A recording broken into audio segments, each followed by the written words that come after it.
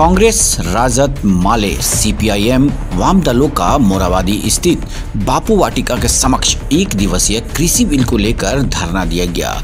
मौके पर खबर तीन सौ पैंसठ न्यूज़ के संवाददाता ने बात की। तो उन्होंने क्या कहा? आइए दिखाते हैं इस खास रिपोर्ट में।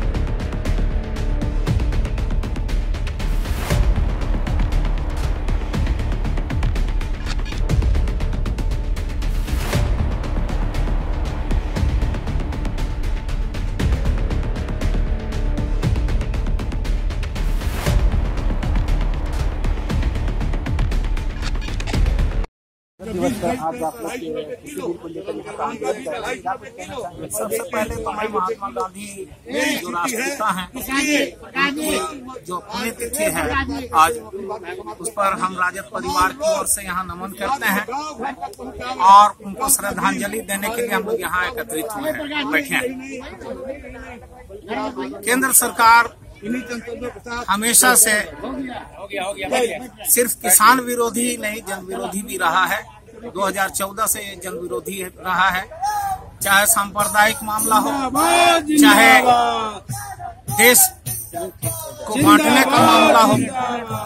आज जो किसान विरोधी बिल लाया है इसमें सिर्फ़ किसान किसान ही प्रभावित नहीं है बल्कि इससे इस, इससे पूरा आम जनता प्रभावित है। मैं बताना चाहूँगा कि इस बिल में जो खामियाँ हैं वो ज़मीन से संबंधित है। मार्केटिंग से संबंधित है, रखरखाव से संबंधित संबंधित है, भंडारण से संबंधित है, उस ज़मीन की उपज से संबंधित है। यानी पहले तो ये था कि ये जो केंद्र की भाजपा सरकार है, ये सब बहुत सारे जो सरकारी संस्था हैं, उनका निजीकरण किया। आज हमारे गरीब किसानों का जो ज़मीन है, या उससे, उसके जो खेत खलिहान का मामला है उसके फ़सल का मामला है, उसको भी निजीकरण करने का काम किया। आज हम लोग राष्ट्रीय जनता दल के माध्यम से जो दिल्ली में और पूरे देश में किसान आंदोलन रत हैं, अब इस विरोध, इस बिल के विरोध में हम उनके साथ हैं और यहाँ पर आज राष्ट्रपिता महात्मा गांधी के हम लोग शरण में बैठकर उस किसान विरोधी बिल का हम लोग विरोध करते हैं। इस पर मैं कहना चाहूँगा कि साजिशों में तो सारा निज़ाम शामिल है। साजिशों में तो सारा निज़ाम शामिल है। हर एक जुर्म में आली मकाम शामिल है। आ, क्या कुछ लगता है आपको किसान आंदोलन कमज़ोर होते जा रहा है? क्या की घटना को लेकर देखिए कमज़ोर नहीं हो रहा किसान आंदोलन। सबसे पहले मैं आज महात्मा गांधी जी के उसके चरण में हम लोग बैठे हैं। और मैं हूँ परिवार की तरफ़ से किसान आंदोलन थमने वाली चीज़ नहीं है। अगर कोई कहता है कि किसान आंदोलन कमज़ोर हो रहा है कमज़ोर हो रहा है है। किसान आंदोलन के साथ पूरे हिंदुस्तान की जनता पूरी हिंदुस्तान की पार्टी तमाम पार्टी और समाज सेवी पार्टी भी उनके साथ में है।